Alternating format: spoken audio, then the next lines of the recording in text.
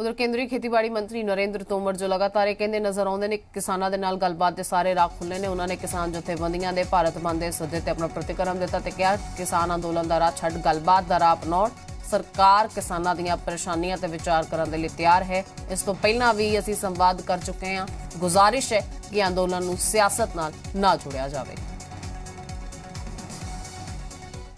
आंदोलन का रास्ता छोड़कर वार्ता का रास्ता अपनाएँ सरकार उनके द्वारा बताई गई आपत्ति पर विचार करने के लिए तैयार है। और इससे पहले भी कई बार बात हो चुकी है।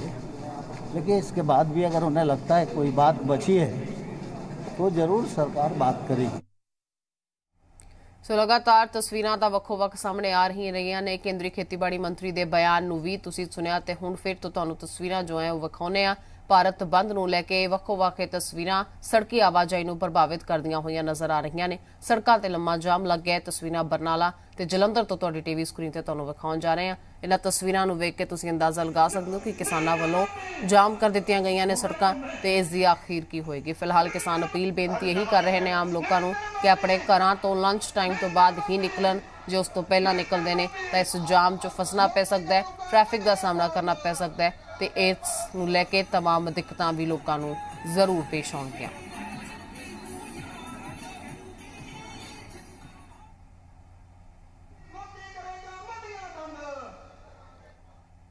ਸੋ ਭਾਰਤ ਬੰਦ ਦੀ ਕਾਲ ਦਿੱਤੀ ਗਈ ਹੈ 6 ਵਜੇ ਤੋਂ ਹੀ ਤਸਵੀਰਾਂ ਜੋ ਨੇ ਉਹ ਲਗਾਤਾਰ ਜੀ ਪੰਜਾਬ ਹਰਿਆਣਾ ਹਿਮਾਚਲ ਤੁਹਾਡੇ ਤੱਕ ਪਹੁੰਚਦੀਆਂ ਕਰੇ ਤਿੰਨ ਕਾਨੂੰਨਾਂ ਦਾ ਕਿਸਾਨਾਂ ਵੱਲੋਂ ਵਿਰੋਧ ਕੀਤਾ ਜਾ ਰਿਹਾ ਹੈ। ਸੰਯੁਕਤ ਕਿਸਾਨ ਮੋਰਚੇ ਦੇ ਸੱਦੇ ਤੇ ਅੱਜ ਭਾਰਤ ਬੰਦ ਦਾ ਐਲਾਨ ਕੀਤਾ ਗਿਆ। 6 ਵਜੇ ਤੋਂ ਅਸੀਂ ਤਸਵੀਰਾਂ ਵੇਖ ਰਹੇ ਹਾਂ। 4 ਵਜੇ ਤੱਕ ਇਹ ਸਿਲਸਿਲਾ ਜਾਰੀ ਰਹੇਗਾ।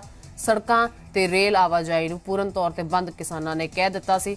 ਤੇ ਕੇਂਦਰ ਤੇ ਸੂਬਾ ਸਰਕਾਰ ਦੇ ਸਾਰੇ ਦਫ਼ਤਰ ਬੰਦ ਰਹਿਣਗੇ ਇਹ ਵੀ ਐਲਾਨ ਕੀਤਾ ਗਿਆ ਸੀ ਬਾਜ਼ਾਰ ਦੁਕਾਨ ਉਦਯੋਗ ਵੀ ਬੰਦ ਰਹਿਣਗੇ ਤੇ तमाम ਉਦਯੋਗਪਤੀਆਂ ਨੂੰ ਅਪੀਲ ਕੀਤੀ ਗਈ ਸੀ ਕਿ ਸਮਰਥਨ ਕੀਤਾ ਜਾਏ ਸਕੂਲ ਕਾਲਜ ਸਮੇਤ ਵਿਦਿਅਕ ਅਦਾਰੇ ਵੀ ਬੰਦ ਰਹਿਣਗੇ ਹਾਂ ਐਮਰਜੈਂਸੀ ਸੇਵਾਵਾਂ ਨੂੰ ਜ਼ਰੂਰ ਛੋਟ ਦੇਣ ਦਾ ਐਲਾਨ ਕੀਤਾ ਗਿਆ ਹਸਪਤਾਲਾਂ ਦੇ ਵਿੱਚ ਮੈਡੀਕਲ ਸੇਵਾਵਾਂ ਨੂੰ ਛੋਟ ਰਹੇਗੀ ਤੇ तमाम ਚੀਜ਼ਾਂ